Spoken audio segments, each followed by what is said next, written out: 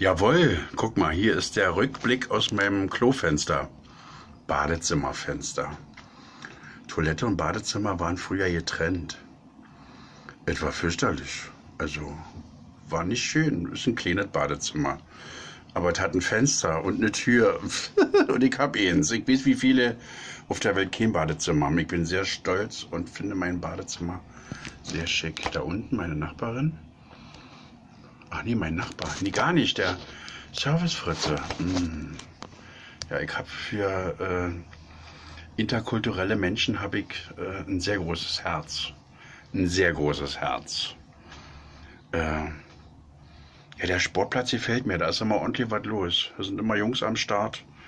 Immer ein bisschen Unruhe und das weite Land. Da sind die blühenden Landschaften, die mir einst der dicke Kanzler versprochen hat. Hatte.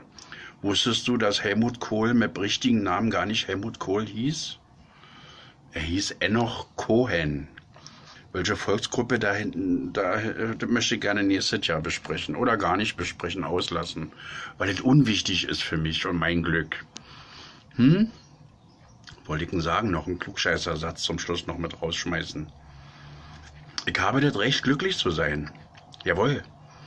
Und die Leute ringsrum um mich auch. Gut. Damit ist alles gesagt. Heute wird wirklich ein geiler Tag. Denn, so wie du ja Introjektion verwendest, verwende ich die genauso. Und dann ist das genauso, wie ich das haben möchte. Das ist schon ein Teil der selbsterfüllten Prophezeiung. Ja, ich bin vorsichtig damit, äh, äh, die Prophezeiung auszusprechen. Ich muss ja erstmal klar definieren. Ich habe sie schon ein bisschen definiert. Äh, letzter Satz. Dein Bademantel ist spitze. Die Farbe ist frech. Unprätentiös.